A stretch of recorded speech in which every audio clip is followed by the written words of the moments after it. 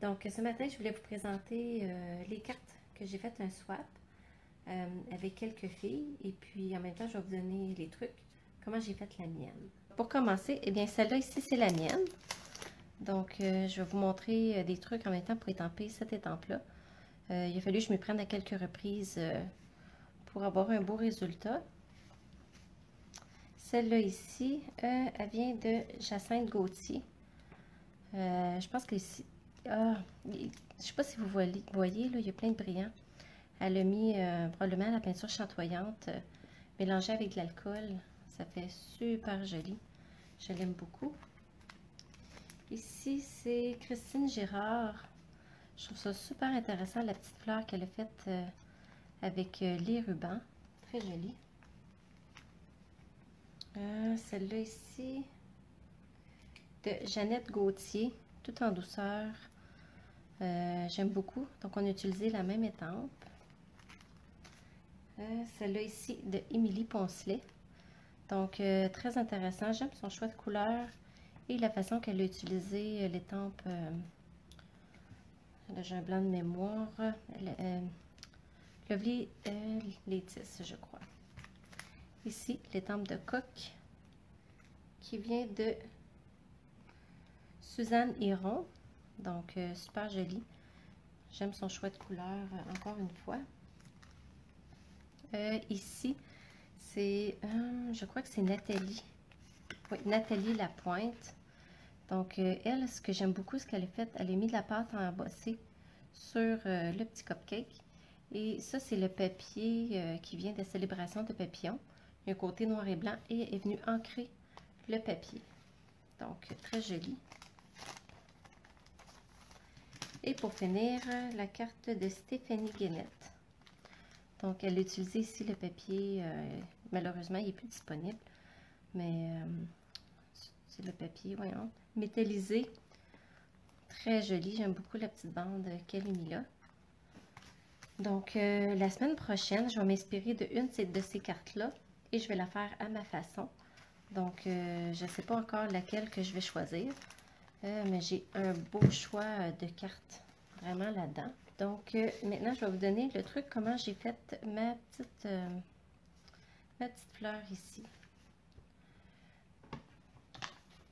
Donc, premièrement, vu que les étampes sont en résine, ça me prend mon tapis de mousse. Et ici, j'ai pris euh, piscine party.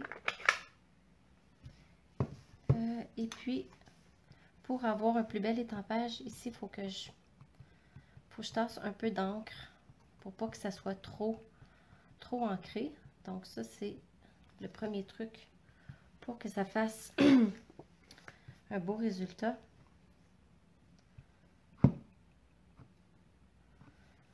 Donc, je m'assure qu'il y a de l'encre partout. Et quand je viens me placer ici, donc je fais une bonne pression. Euh, en fait, euh, même plus que d'habitude. Donc, j'ai réussi. C'est beau. Et après ça, je peux venir faire ma tige en verre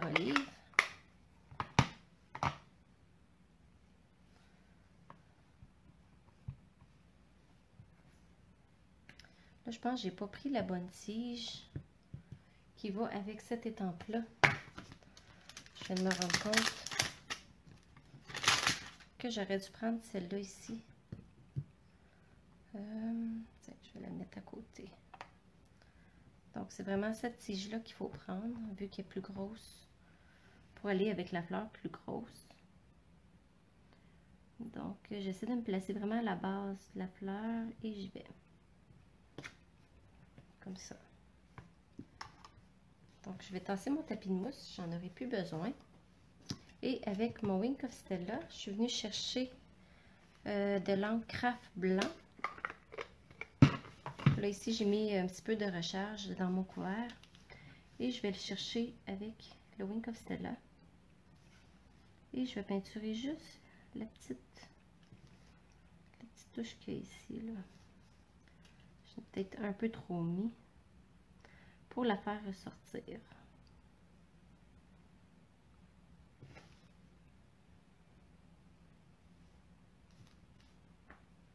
Comme ça ici.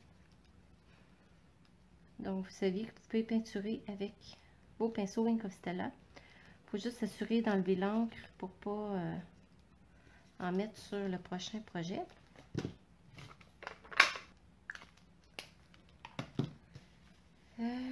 Ici, je suis venue ancrer le contour euh, juste pour le faire vieillir un petit peu. Donc, tout en douceur. Comme ça ici.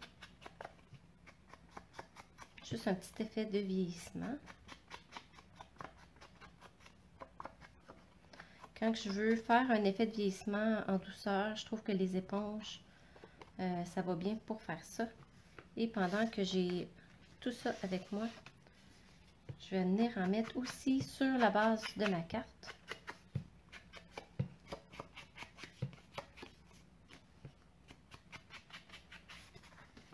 Et là, j'ai déjà embossé mon papier pour que ça aille plus vite.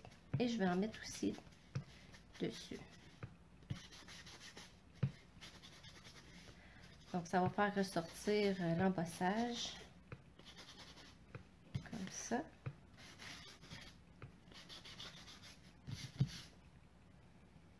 Euh, et puis, je vais en mettre un petit peu aussi sur celui-là.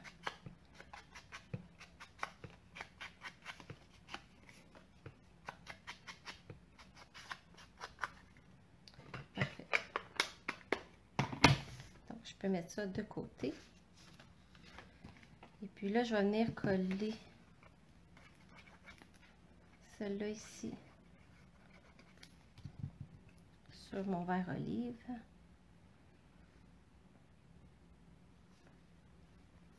Donc, si vous avez des questions, n'hésitez pas euh, à me les poser.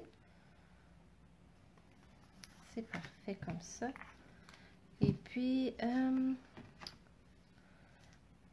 je vais coller tout de suite ça sur, euh, sur la base de ma carte. Donc celui-là, vu qu'il y a des gros motifs, je vais tenter de mettre un peu plus de colle. Mais sans me mettre trop proche parce que je veux pas que ça déborde. Et puis vu que ce plioir-là, il fait vraiment des... Euh, il embosse vraiment beaucoup, beaucoup, beaucoup le carton. Je le garde un, quart de pouce plus long parce qu'il rétrécit beaucoup.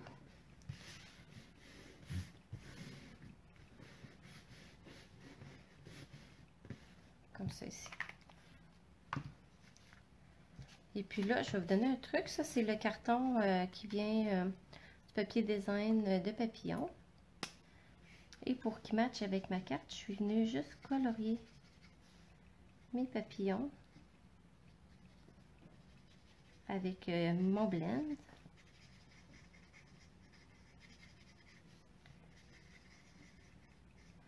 Donc ça, c'est un avantage des papiers noirs et blancs. On peut venir les ancrer, les comme qu'on veut et les faire matcher avec notre papier. Allô Marie-Josée!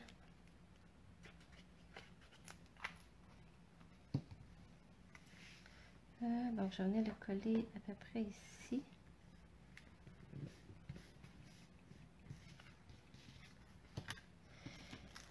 Là, je vais vous donner un truc. Mettons, vous avez des petits bouts de ruban, vous ne savez pas trop quoi faire avec. Vous pouvez vous en servir pour faire une jambe de petite boucle. Donc, avec mon, ma petite ficelle de lin, je m'en viens faire deux tours dérouler un petit peu plus. Et puis là, je m'en viens mettre ma petite ficelle, mon petit bout de ruban que j'ai coupé. Et je m'en viens faire un nœud. Ça. Donc, des fois, on ne sait pas trop quoi faire avec, on les jette. Mais il y a une façon euh, de pouvoir... Euh, là, je vois que j'ai pas fait ça correctement. J'aurais peut-être dû faire un nœud en dessous. Mettre. Tiens, je vais venir couper ça ici. Ça va aller mieux. Bon, Donc, on recommence. On fait un premier nœud. On vient mettre le bout de ruban. Et on fait un autre nœud par-dessus.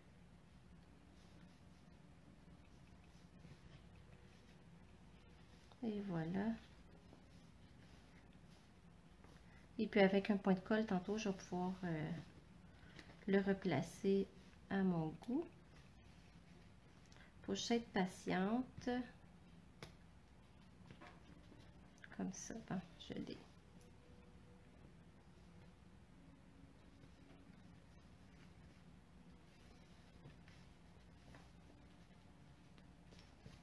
J'en ai coupé ce qui dépasse.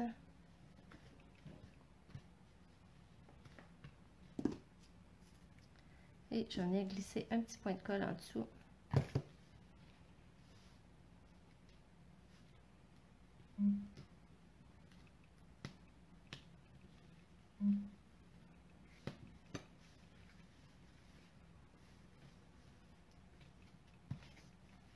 Et voilà, ça fait une genre de, de petite boucle.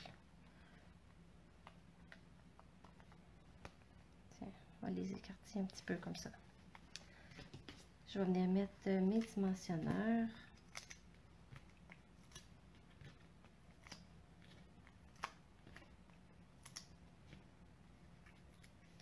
Je veux être sûr que ça soit solide, donc j'en mets un peu partout.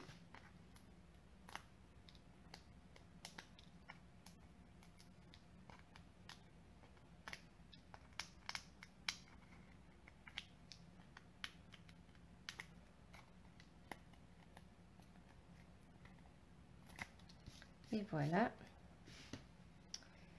Euh, donc, euh, je mets ici. Là, pour l'instant, je la laisse sans vœux. Mais cette carte-là, elle peut servir euh, pour différentes occasions, comme des condoléances ou différentes choses comme ça. Et puis, à ce moment-là, je pourrais rajouter un vœu à la dernière minute avant de l'utiliser. Et puis là, je voulais vous montrer notre papier de papillon. il est coordonné avec notre perforatrice duo papillon est en ce moment en, back order. Je pense qu'elle va revenir probablement début avril. Donc, on utilise un post-it parce qu'on gaspille moins de papier design en découpant le papillon qu'on veut.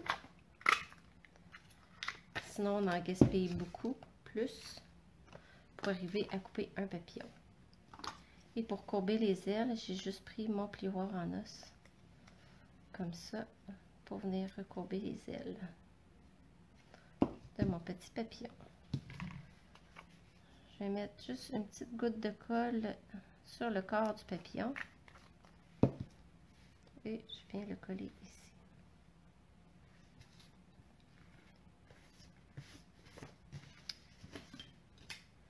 Donc, je pense pas j'ai rien oublié.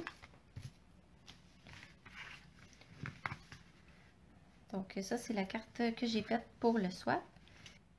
je vous remercie les filles d'avoir été là euh, ce matin avec moi. Je me suis dit samedi matin, il n'y aura pas grand monde en ligne, mais euh, je suis contente de ne pas avoir été toute seule. Merci beaucoup et à bientôt!